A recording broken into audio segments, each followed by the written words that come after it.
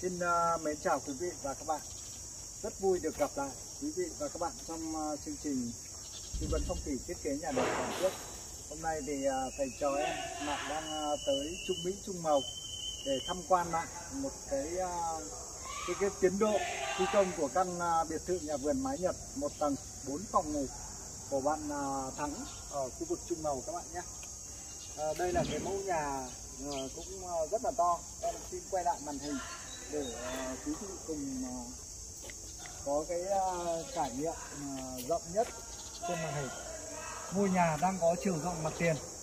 À, em đứng ở góc này nó đang thiếu mất cái, cái không gian bếp của bạn ấy nhá. Chiều rộng mặt tiền là 25 m phủ bì và chiều sâu là 11.5 phủ bì, 11 mét rưỡi phủ bì không tính sảnh. Nếu tính sảnh ra nó phải là 13 mét mấy đấy.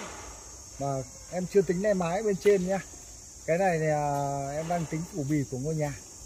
Và ngôi nhà là thiết kế theo à, phong cách mái Nhật 4 phòng ngủ và rất là rộng luôn. Và mời các bạn vào bên trong để tham quan cái à, công năng của công trình. Và đây con ngựa sắt của thầy trò em đây thường xuyên đi cập nhật những mẫu nhà mới, cũng thường xuyên đi tư vấn phong thủy thiết kế toàn quốc và đi chăm sóc lại khách hàng của mình ờ, cảm ơn quý khán giả luôn à, ủng hộ những video của em à, chia sẻ để nhiều người có mẫu nhà đẹp tham khảo miễn phí. À, cảm ơn quý khách hàng luôn tin tưởng và gọi em tư vấn thiết kế nhà đẹp. Cái khoảng trống ở trên sau sẽ là cái điểm sơn màu để làm điểm nhấn quý vị nhé. Và những cái chuồng chim ở bên trên thì không phải là để trang trí đâu ạ. Cái mục đích chính là để nó làm mát hệ thống mái của ngôi nhà. Đó. và cái ờ, ý nghĩa thêm nữa là để trang trí. Tuy nhiên cái ờ, chính của nó là để làm mát mái.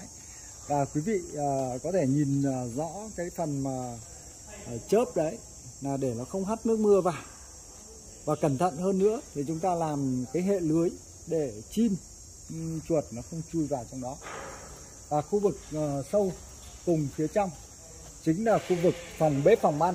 Và bên ngoài có cái khoảng uh, sảnh cà phê quý vị nhé. Cái khu vực bên ngoài là sảnh cà phê. Và riêng cái uh, nhà của bạn Thắng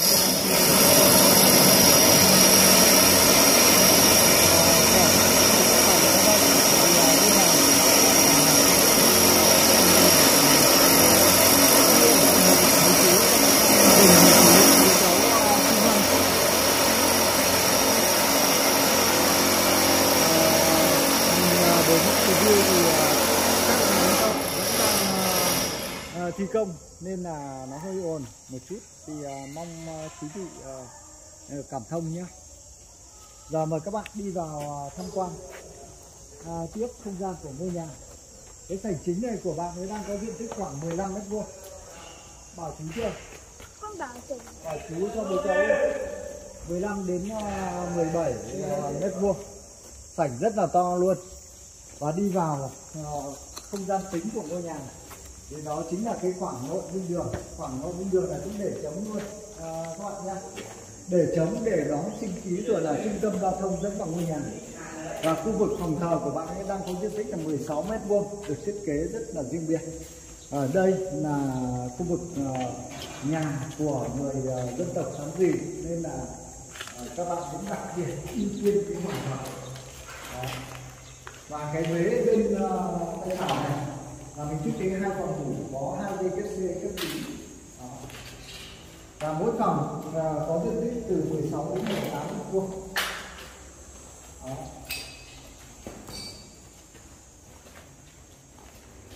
Đều có cửa sổ tất cả thông thoáng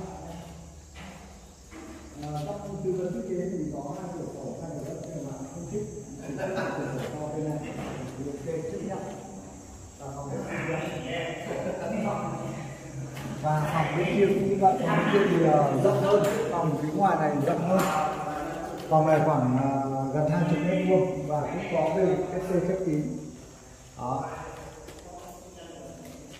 Cửa sổ rất là to thoáng luôn. Và khu vực này chính là cái khoảng uh, ôm hai cái phòng vệ sinh và sau đó mình sẽ làm một cái uh, bức tranh. Bức tranh gỗ ốp vào bên đó là chiều và đây là cái là khách là không như là như này chúng ta phải có chiều rộng là 6 mét chiều rộng là 6 mét và chiều sâu là 11 mét như vậy là 70 mét cách đây là bảy ba thiên